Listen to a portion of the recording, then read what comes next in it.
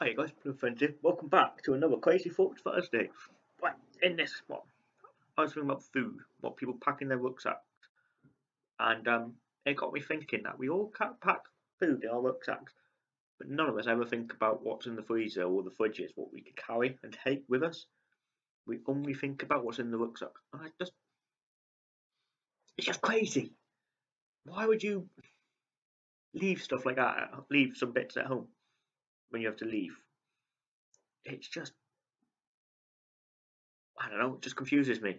I know I did, I've done exactly the same thing, but lately it just made me think even more that we could carry extra food in a bag if we need to. We should, in my opinion, not need to. We should.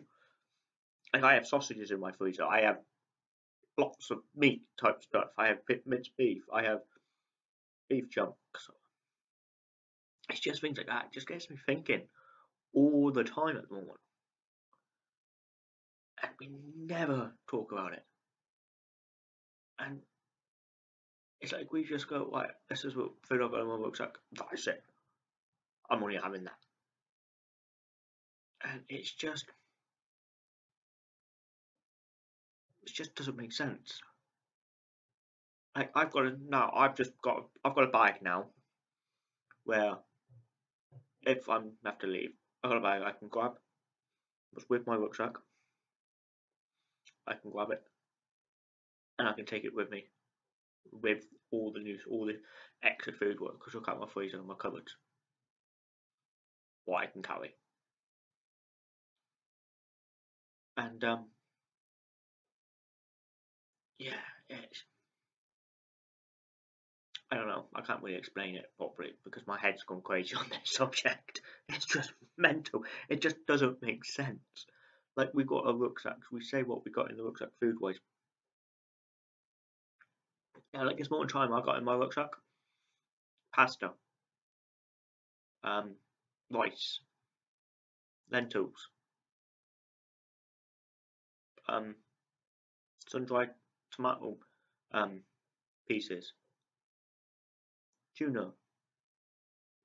But I don't have things like I don't have. I can just go into my freezer. I can grab three, four times much food from my freezer than what I can actually put dried stuff in my in, in my fridge in my rucksack. And I know it might not last that long. I know it might not survive in the heat. I get that. I understand that.